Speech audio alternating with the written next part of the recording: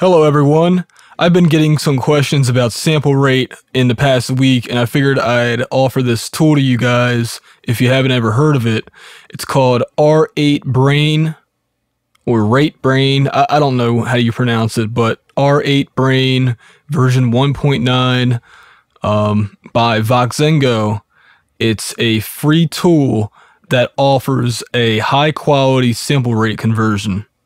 You can get it from the website link in the video description or uh, voxengo.com if you can spell that. But um, I just wanted to show you this website as well, which gives a comparison. And I always had this happen. I don't know why they uh, why it does that, but um, anyway, this is r8brain. It has a nicer sample rate converter, at least according to the test on this website, than the one that's built into Reaper. And it totally kills some of the other programs. You know, Reaper's not too bad. If you go through this and look at the different tests, you know, Reaper's not really that bad. I don't, I don't know what's going on here. Um, this looks smoother. But Reaper's not that bad in extreme mode. But if you if you compare r8brain on the frequency sweep to let's say Ableton, that's a lot of aliasing and distortion. Um, we'll look at the other test. That's not too bad. That one's like perfect. That's kind of weird. That's uh, that looks like it's not. It looks like in a minimum phase filter. And then we have, uh, yeah, the, the impulse is off because it's minimum phase. And we'll keep going through these. Uh, let's see. Cubase. We'll try Cubase. Cubase looks nasty with their sample rate conversion. Uh, Digital Performer 7 looks okay. Not too bad. Cubase was terrible. Um, FL Studio, let's see, version 10. Looks a little weird. Uh, it looks uh, maybe audible. It's got a lot of purple compared to r8brain. And we'll keep going. Logic 9. That looks it looks like a bunch of triangles and circus tents or waves or whatever. Not terrible, but also not uh it's still giving some distortion when that wouldn't be good. Let's uh, see what it looks like compared to a piece of hardware. The sync versus async. And let's see. Let's see Pro Tools. Pro Tools 10. Oh, not too bad. I don't know if that's the hardware or the software, but I'm guessing it's the software converter. I think r8brain still beats it. Yeah, there's a lot of distortion up here in the upper frequencies. And, you know, the way this chart works is this is how loud the distortion is. Um, the sweep, the ideal sweep, shouldn't have anything past this point.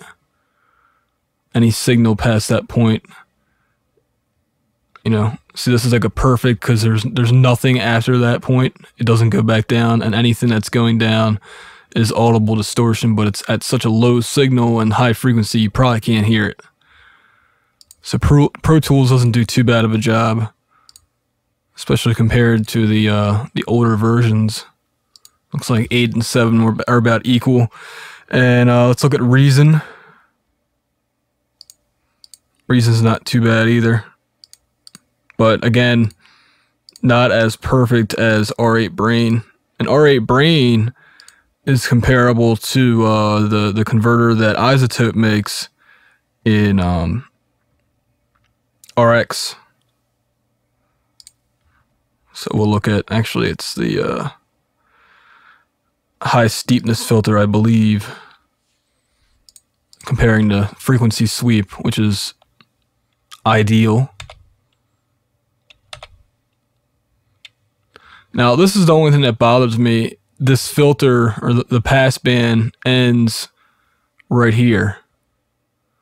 So that, that's one thing I think Reaper beats it with. And also the RX filter also beats it. RX is pretty much as cl close to perfect as you can get. But it also costs money, which you may or may not have. Um, the other program that I would recommend, but it's a little more, it's definitely more complicated to use than r8brain, is it's called SoX. If I can find it, there it is. So SoX, we'll do linear phase and sweep. See, equal. Oops. Yeah, equal. Pretty much equal. Better. Better. Of course, better is subjective. A lot of people don't like linear phase sample rate conversion. They prefer minimum phase, which SoX does have. You know, it rolls off the it rolls off quicker, but it sounds more like an analog sample rate converter, which if you like r8brain, there is r8brain Pro, which gives you that minimum phase sound, which can be pretty cool. And it still has an ideal frequency filter, but it has a uh, minimum phase distortion, which isn't bad. You know, distortion isn't always bad. You know, if distortion was bad, people wouldn't like guitar amps with a, a high gain.